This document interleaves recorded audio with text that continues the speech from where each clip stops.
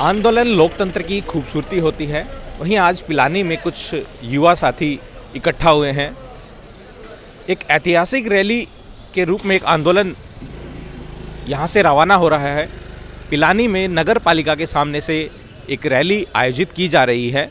हम इन्हीं युवा साथियों से जानेंगे कि ये रैली क्यों आयोजित की जा रही है और इसका उद्देश्य क्या है।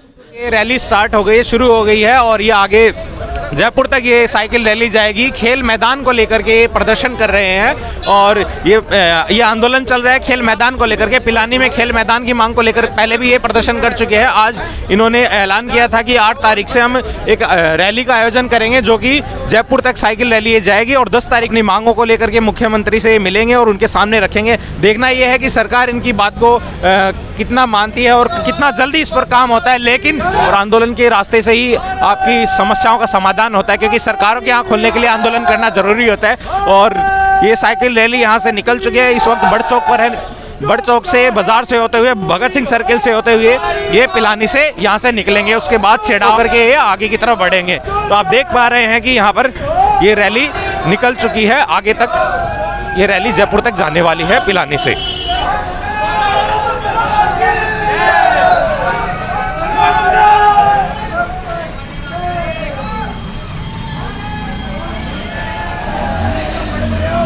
इकट्ठा हुए हैं, उसका क्या उद्देश्य है? अब थोड़ा इस रैली के बारे में हम जानना चाहेंगे, सर। हमारा मेन मुख्य उद्देश्य है पिलानी में युवाओं के लिए सरकारी खेल मैदान नहीं है।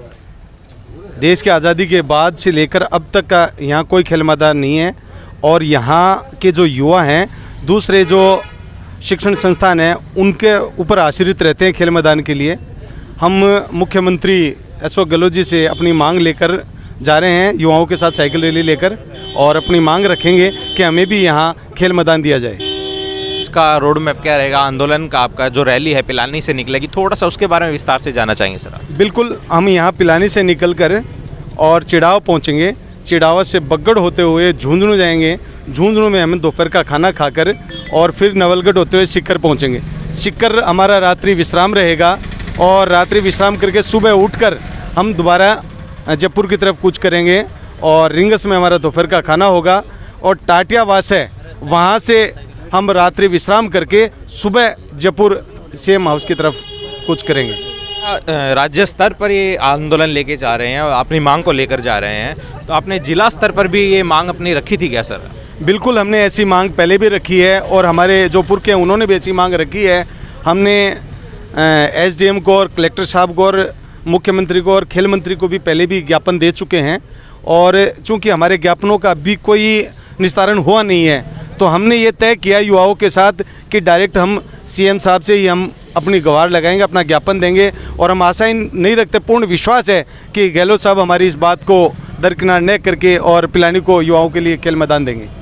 तो ये पिलानी से एक ऐतिहासिक साइकिल रैली होने जा रही है। मैंने जहाँ तक देखा अभी तक पिलानी से जयपुर तक की कोई एक साइकिल रैली मैंने नहीं देखी है और कुछ युवा साथी और भी हैं, खिलाड़ी हैं, उन्हीं से जानेंगे उनके सामने अभी किस प्रकार की समस्या आ रही है और वो सरकार से उनकी क्या क्या मांगे हैं इस खेल के लिए। जी, हम आज पिलानी से जयपुर साइकिल रैली के लिए यहाँ से निकल रहे हैं। लेकिन हम ये देख सकते हैं कि आज़ादी के जितने भी पचहत्तर साल हुए हैं वहाँ से आज तक पिलानी में कोई भी पब्लिक ग्राउंड यहाँ पर नहीं है। जिसकी वजह से यहाँ पर जितने भी प्रतिभावान जो छात्र है और युवा है वो सब प्रतिभा यहाँ पर चुप चुकी हैं। चुके। तो अब सीधा सरकार से मांग है कि हमें खेल ग्राउंड दिया जी बिल्कुल। अब हम सीधा सरकार से रूबरू होंगे और उससे खेल मैदान की मांग पूरी कर सकेंगे। लेकिन तो और भी हमारे साथ खिलाड़ी हैं और उनसे जानेंगे अभी तक उनके सामने क्या क्या समस्या आई है ग्राउंड न होने की वजह से। और यहाँ से स्पोर्ट्स पर्सन भी खूब निकले हैं और गोल्ड मेडलिस्ट भी राज्य स्तर पर गोल्ड मेडलिस्ट निकले हैं। तो आप इन्हीं से जानते हैं थोड़ा कुछ और इसके बारे में।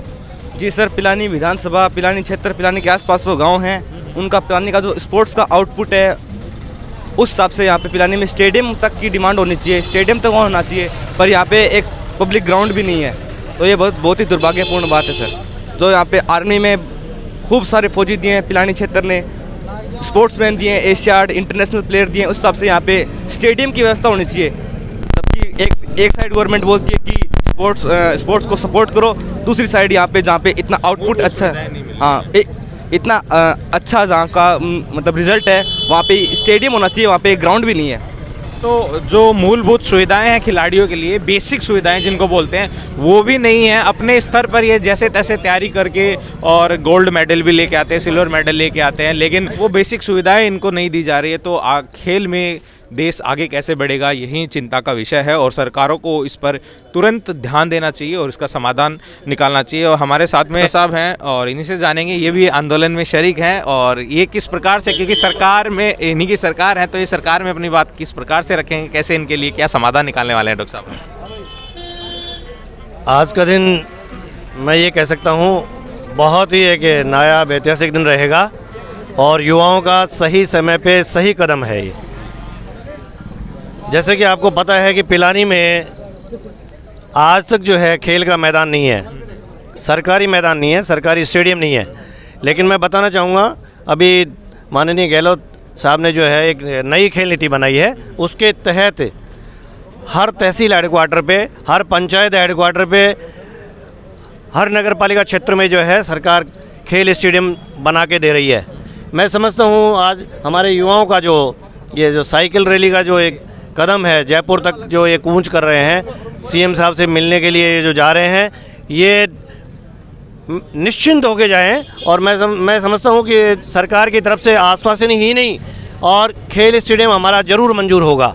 ये आज जो पिलानी में मांग रखी है इन युवाओं ने ये जायज़ मांग है और हकीकत है कि पिलानी की प्रतिभाएँ निखर नहीं पाती बिना कोई खेल का मैदान नहीं है तो ये जायज़ इनकी मांग है और उत्साह है इसका रिज़ल्ट भी मिलेगा, क्योंकि पॉजिटिव कदम को हमेशा परमात्मा का सहारा मिलता है। तो मैं आशा करता हूँ और विश्वास भी है कि मुख्यमंत्री साहब इनकी बात सुनेंगे और जल्द ही पिलानी को स्टेडियम मिलेगा और हमारी पिलानी की प्रतिभाएँ दिनों दिन जो स्पोर्ट्स में आगे बढ़ेंगी।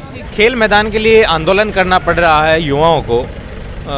आपके इस आंदोलन के बारे में हम थोड़ा जानना चाहेंगे और भी हमें छोटी छोटी मूलभूत चीज़ों के लिए आंदोलन करना पड़ रहा है सरकार को थोड़ा इस पर सोचना चाहिए और शर्मनाक है सरकार के लिए ये सब चीज़ें। सबसे मज़ेदार बात तो आपने खुद ही कह दी है कि छोटी छोटी चीज़ों के लिए ये आंदोलन करना पड़ता है क्योंकि बड़ी चीज़ें तो ये कर ही रहे हैं। लेकिन इनको समझना चाहिए कि जो बेसिक नीड है सोसाइटी की आज हमारे देश का 70 परसेंट जो जनरेशन है दैट इज़ यूथ और यूथ को लेके जो भी कदम होते हैं, वो मौजूदा सरकार नहीं उठा रही है। तो ये छोटी छोटी चीज़ें हम कह देते हैं, लेकिन इन युवाओं के लिए बहुत बड़ी चीज़ है। तो इसके लिए हमें आंदोलन करना पड़ रहा है। ये ग्राउंड हम इस पिलानी के लिए प्राइमरी नीड आती है इन यूथ के लिए। सो उसके लिए हम ये आंदोलन कर रहे हैं। सरकार के तरफ़ से एक सामने आती है बात कि हमारे पास जगह नहीं है। और वो जैसे पिछली बार भी विधायक जब आए थे, वो पॉलिटेक्निक कॉलेज पिलानी को दे दिया गया था, लेकिन कह रहे थे कि जगह नहीं है, इसलिए उसे चिड़ावा में कहीं कहीं चिड़ाव के आसपास में उसको शुरू कर दिया गया है, ऐसे वैसे। तो ये सरकार का जो ये रोना रोती है जगह नहीं होने का। लेकिन जब इनको और कहीं किसी चीज़ के लिए ज़रूरत होती है तो किसानों की जगह को अधिग्रहण कर लेती है, इस तरीके का कर लेती है। लेकिन जब ज़रूरत की चीज़ों के लिए जब यूथ अपनी मांगों को लेकर के जब ज़मीन चाहता है इनसे तो उनके लिए इनके पास जगह नहीं है। सर, इस मुद्दे को मैं किसानों से जोड़ना नहीं चाहता था, लेकिन आपने बहुत अच्छी बात रखी है यहाँ पे। देखो, किसान हो, चाहे मजदूर वर्ग हो, चाहे गरीब वर्ग हो, उसके साथ में शोषण करना बहुत आसान है। अब क्या होता है, ये तो सिर्फ़ बात टालने का तरीका हो गया कि हमारे पास जगह नहीं है, हमारे पास ये नहीं है।